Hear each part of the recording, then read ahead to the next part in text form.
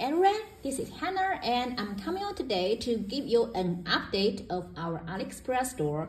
As uh, many of you know that we are going to have our Chinese New Year and that is February the 10th this year. So uh, our, our AliExpress store will be having a break from February the 2nd to February the 17th uh, because most of the factories, uh, not most, but all the factories will be closed uh, from like the end of January to the mid middle of February. So yeah, we we will also be having a break during this time. And if you place orders during this time, we will be a, we will be ship out the orders after uh, February the 18th.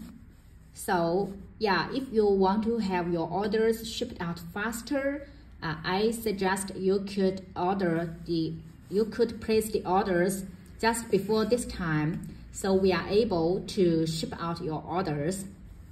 And also we, uh, if you have any questions or just any problems with your orders, you could always message me on AliExpress or on Instagram or on YouTube. Is any place is okay and we will be able to answer your questions and I will yeah so just don't don't worry about that I'm able to answer your questions or your problems or your orders also during this time and and you could always place your orders on Amazon during this time because the Amazon orders are fulfilled by Amazon warehouse so there is there is no problems order there that you could also get them uh, in a regular time.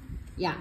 So this is about the store update and yeah and that is all for today. And thank you for watching. I'll catch you in my next video and have a nice day.